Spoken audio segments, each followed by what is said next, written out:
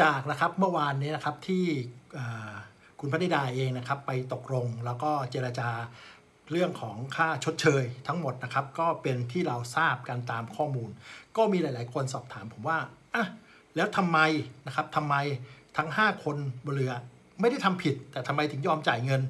และที่สำคัญก็คือแทนที่ทำไมยอมจ่ายเงิน แต่ไม่รับสารภาพ แต่ไม่รับสารภาพเลยนะแต่ยอมจ่ายเงิน ตามเงื่อนไขที่ให้กับคุณพนิดา แต่ไม่ยอมรับสารภาพและสู้คดี อันนี้ผมต้องบอกก่อนนะเมื่อไหร่คนถามมาผมก็จะวิเคราะห์ตามมุมมองของผมนะต้องบอกว่าวิเคราะห์ตามมุมมองของผม ต้องบอกว่าถ้าวันนี้นะครับถ้าวันนี้สมมติว่าถ้าเกิดจะรับสารภาพเลยตั้งแต่ตอนนี้นะครับรับสารภาพเลยตั้งแต่ตอนเนี้ยรับสารภาพปุ๊บทุกอย่างมันก็จะจบก็ใช่ แต่เรื่องของ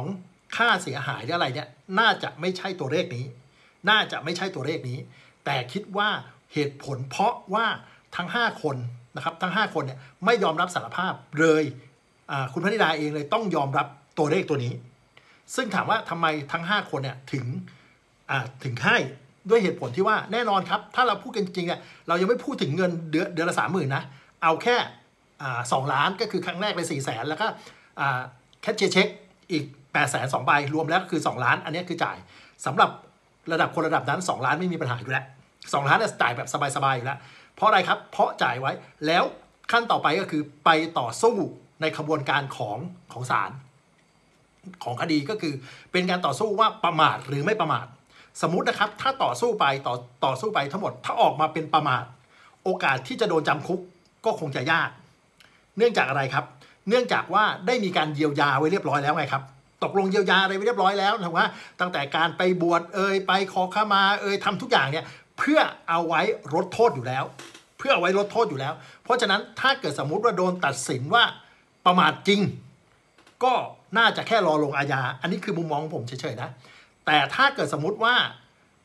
สู้ต่อสู้แล้วหาหลักฐานออกมาว่าตัวเองไม่ได้ประมาท แล้วศาลยกฟ้องเท่ากับตัวเองบริสุทธิ์เลยนะ บริสุทธิ์เลยนะ ก็เท่ากับเป็นน้องทั้งโมประมาทเองสมมตินะน้องทั้งโมประมาทเท่ากับทุกคนรอดและก็ไม่มีมนทินอะไรเลย แต่ถ้ารับสารภาพตัวนี้อย่างน้อยก็ยังมีมนทินว่าต้องรอลงอาญาถูกต้องไหมฮะเพราะฉะนั้นก็คือวันนี้เขาทำแบบนี้เพื่อจะเสี่ยงไงครับซึ่งการเสี่ยงของเขาก็คุ้มค่ามากเหตุผลเพราะอะไร ถ้าเกิดว่าตัดสินว่าผิดยังไงก็ไม่ก็ไม่ติดคุก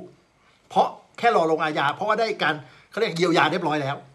แต่ถ้าเกิดว่าต่อสู้แล้ว ชนะ ศาลยกฟ้องโอ้โหเขาลอยลำเลยนะ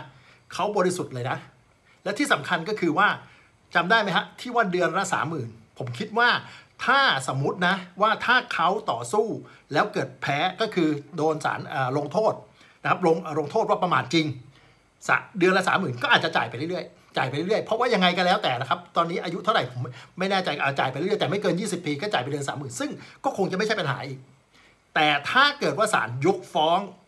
คิดว่าสามหมื่นเขาจะจ่ายไหม ก็ต้องมาดูก่อน ถูกต้องไหมฮะ คิดว่าสามหมื่นเขาจะจ่ายไหม ถ้าเกิดศาลยกฟ้อง ศาลยกฟ้องอาจจะไม่จ่ายก็ได้ เพราะเขาไม่ได้มีความผิดอะไรครับ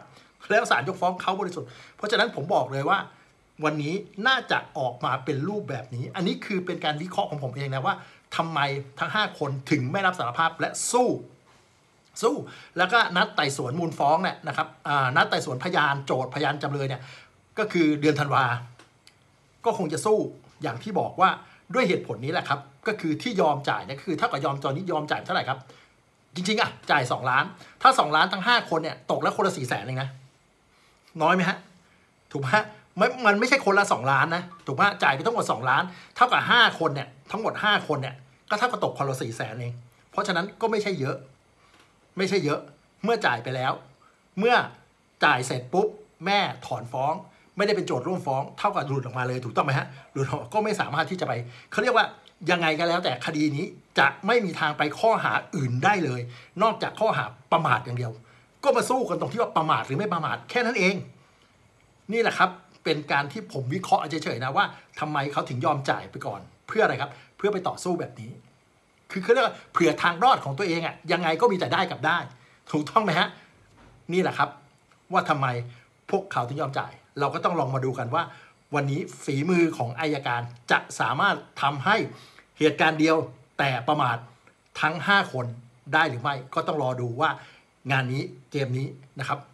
คดีนี้จะต่อสู้กันยังไง ผมบอกเลยว่าเป็นบรรทัดฐานที่ดี ผมอยากเจอ ผมอยากรู้นะครับ ก็คงต้องติดตามคดีนี้ต่อไปว่า สรุปแล้วนะครับ ทั้ง 5 คนผิดหรือไม่ผิดผิดหรือรอดต้องรอดูกันครับ